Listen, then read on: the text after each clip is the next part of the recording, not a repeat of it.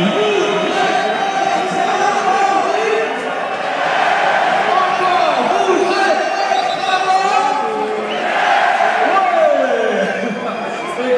bravo, bienvenue à, à toutes les tous sur ce, public, Bugatti. Les 24 heures moto en septembre.